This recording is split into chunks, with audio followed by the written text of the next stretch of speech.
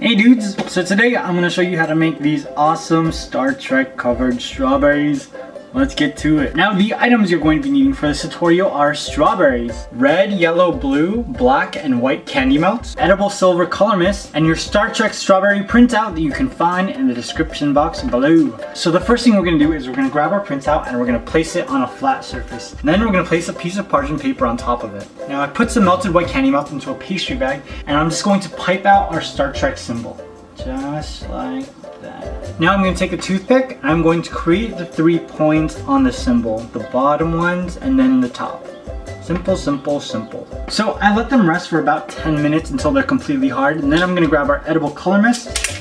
And we're just gonna give them a coat of silver color. I think this silver color mist is like the best thing in the entire world. It makes everything look so glamorous. So I'm gonna set these aside. So I've melted down some black candy melt. And I'm gonna grab our strawberries and we're gonna dip the whole thing into black.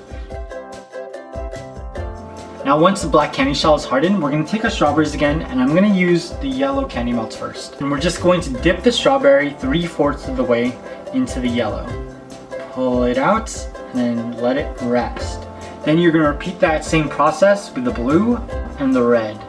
Now once those colors have dried on, we're just to take a little bit of candy melt, place a little dot, and then attach our silver Star Trek symbols. Oh, voila! There we have it. Look at these babies. Whoa. This looks really cool. I like it. I like it a lot. Oh my god. They're so adorable. Well, I hope you guys enjoyed this. Now let me know in the comments what you think I should make next. Want to see more?